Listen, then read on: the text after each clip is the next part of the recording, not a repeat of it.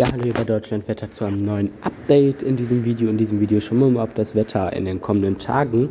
Dort könnte es nämlich ziemlich interessantes Wetter erwarten und vor allem ab nächste Woche. Ich habe mir dieses Bild ausgesucht, das passt einfach gut. Im Bergland gibt es Schnee, vor allem mit diesem schönen Dörfchen hier im Hintergrund.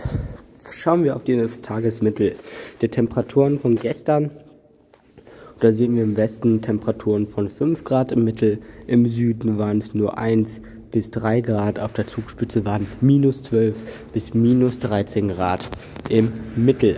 Also man merkt im Norden und Nordosten und Süden, ja, dort war es kühler als im Westen und Nordwesten. Schauen wir auf die Niederschlagsmengen gestern und da sehen wir, dass ja, überall in Deutschland es was an Niederschlag gab. Am meisten gab es in den Mittelgebirgen. Dort ist der Regen gegen die Mittelgebirge geprescht. Im Süden gab es dagegen gar keinen Niederschlag, vor allem im südlichen Berlin und Brandenburg, aber dafür im Süden, im Schwarzwald und im Bayerischen Wald. Dort aber das meiste als Schnee schauen wir auf die Wetterlage vom heutigen äh, Mittwoch. Da sehen wir ein Tief, das dann ja, uns ja, kräftigen Wind bescheren wird. Dann haben wir noch ein Hoch auf dem Atlantik und dieses Hoch sorgt eventuell für die Wetterberuhigung am Wochenende. Aber erstmal an den nächsten drei Tagen ist keine Wetterberuhigung in Sicht. Schauen wir auf das Wetter vom heutigen ähm, Mittwoch und da sehen wir viele Schauer, vor allem am Nachmittag über der Mitte.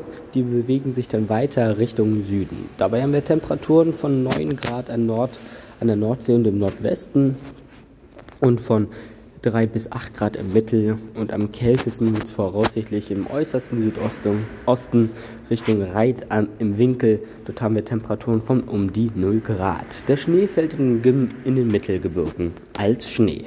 Schauen wir auf die Windböen von heute. da sehen wir verbreitet im Nordwesten und in der nördlichen Mitte und im Osten und Südosten ja, hohe Windgeschwindigkeiten von teilweise 50 bis 90 km/h.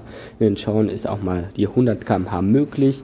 Im Südwesten kommt am wenigsten Wind auf, vor allem am Oberrhein, im äh, Rhein-Main, im Rhein-Main-Gebiet so. Dort kommt kaum was an Wind schauen wir auf das Wetter am Donnerstag.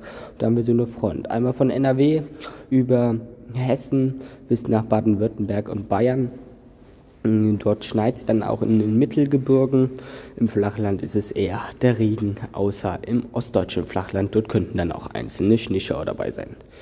Der Wind kommt aus nordwestlichen Richtungen und dabei haben wir Temperaturen zwischen 2 und 7 Grad im Mittel. Am wärmsten wird es im Nordwesten mit bis zu 8 Grad und am kältesten an den Alpen bis, bis 0 Grad, wo der Schnee dann an die Alpen klatscht. Schauen wir noch zum Schluss auf den Freitag und da haben wir eine Zweiteilung. Im Westen wird es langsam trockener.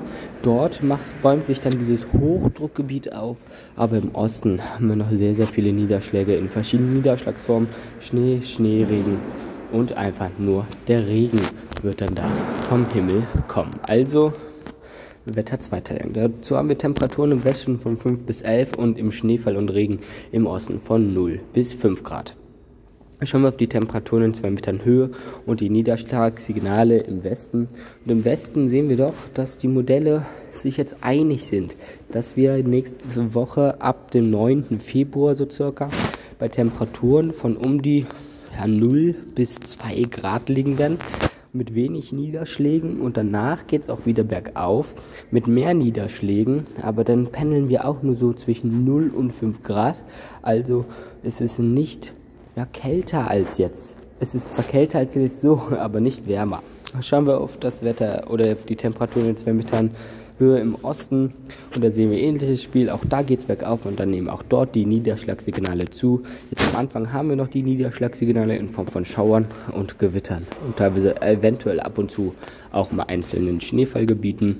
Und dabei, wie gesagt, pendeln wir bei 0 bis 3 bis 4 Grad.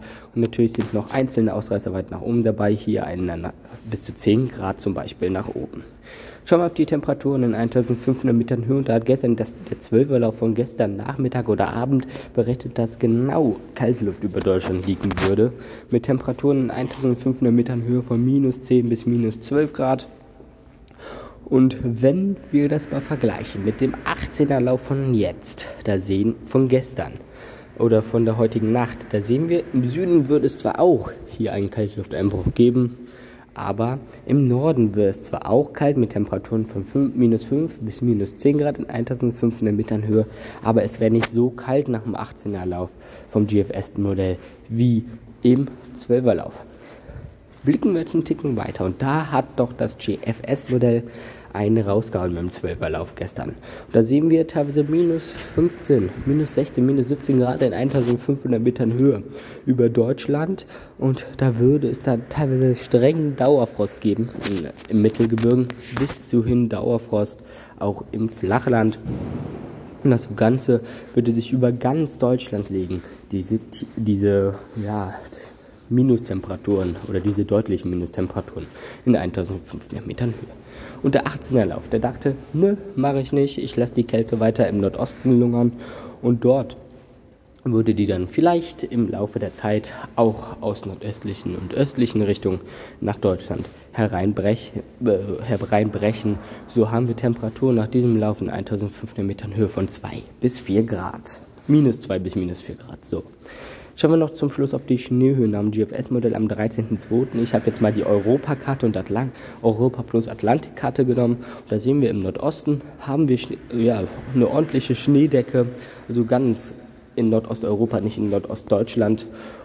Und da habe ich das D für Deutschland markiert da. Und dann sehen wir, in Deutschland kommt kaum was an, die, an Schnee vom Himmel, außer vielleicht im Mittelgebirgen mal einzelne, teils kräftige Schneeschauer. Also sonst würde in Deutschland nichts an Schnee vom Himmel kommen oder kaum was an Schnee.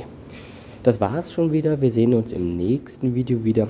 Ich würde mich freuen, wenn ihr ein Abo da lassen würdet. Und eine Sache habe ich noch. Schickt mir gerne Fotos von der kalten Luft, zum Beispiel von, äh, von Landschaften oder von Schneelandschaften. Dann sehen wir uns im nächsten Video. Macht's gut. Bis dann und ciao.